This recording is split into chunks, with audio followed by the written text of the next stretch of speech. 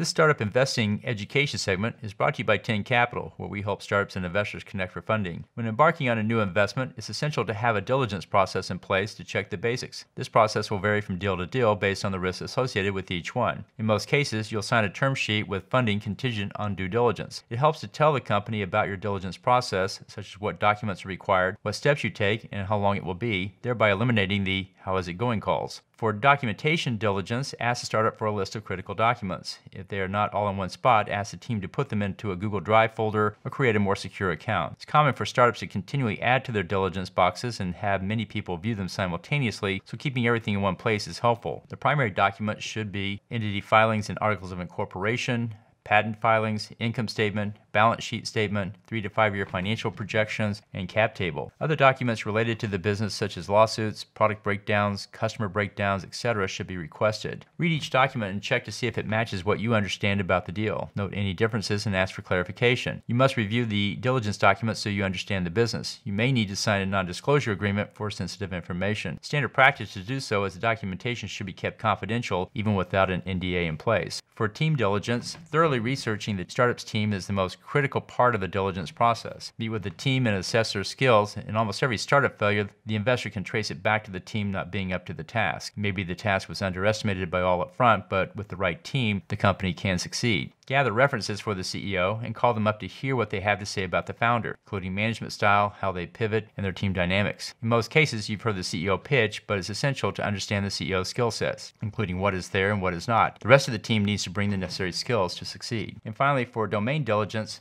Break down the process into steps. Research the competition to determine the company's position in the marketplace. Check the positioning of the company in the market. Identify the value proposition and how well it resonates with customers. Look at their pricing compared to the competition. And check the industry to see what conditions in which it will grow or decline. Once you finish diligence and have your questions answered, ask for wiring instructions. Remember, break it down into baby steps. At TEN Capital, we help startups and investors connect for funding. Let's go start up something today.